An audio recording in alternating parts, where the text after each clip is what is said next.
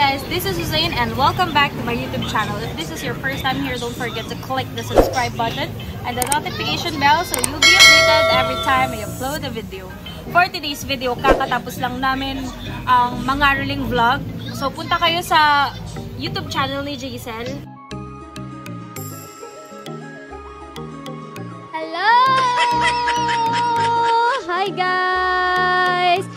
Eto, ililink ko siya doon sa description box below. So, panoorin nyo yun guys. Masaya yun.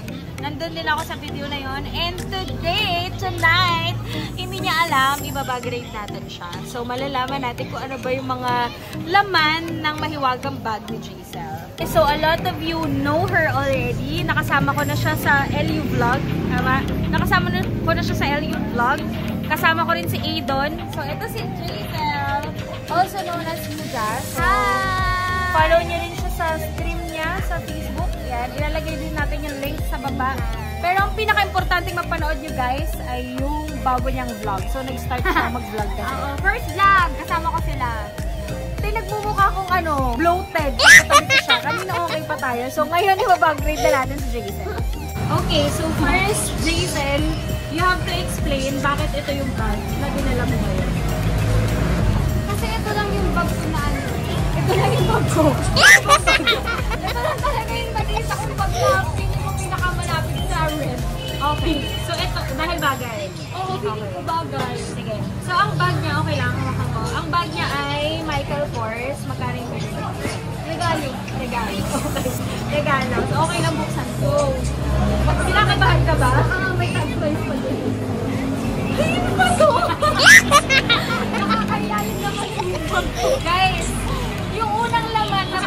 sa akin, bindisyonan niyo po ang aking mata kasi iba po ang aking nakakita.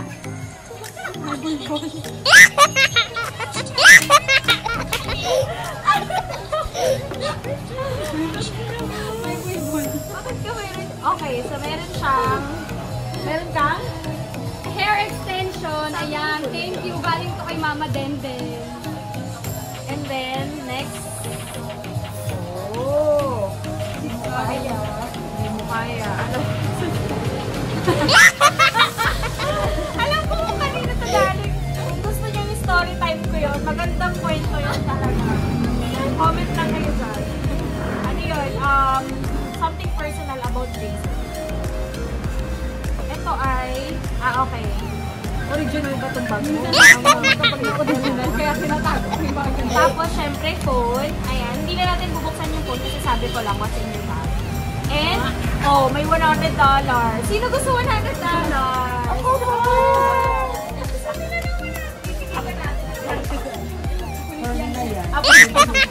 Okay. Ano to, Jason? Ah, okay. So, ang ginagamit niya ay MAC na press powder. Hindi rin ako masyado. Powder foundation. Iyo, wala namang masyado. Bakit walang masyadong important sa bag mo?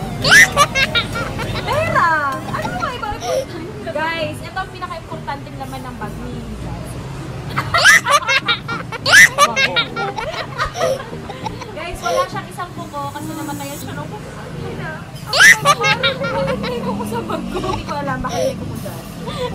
Ayun. Next ay, ano to? May diabetes. ano to? Wala ng dugo. Oh, may diabetes. Ah, okay. So, Hindi, ano ba explain ko kasi pinipimple ako sa sugar. Ako, nagbabaon ako ng sarili kong sweetener kapag may mga kape, mga milk tea.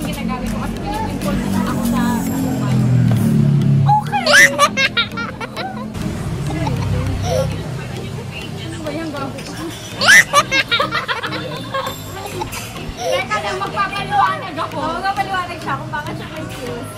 Sa mga nakakaalam, noon, yung mga nag-uusa akong mag-stream, bukbukin talaga tayo. Marami talaga akong pimple. Nung pina-check ko siya, hormonal acne yung mga pimples ko. So, kailangan kong mag-peel para sa mga sumpa. At saka, para sa... Yun lang, para sa ikakatamaan ko. Okay. Guys, yun lang yung laman ng bag ni.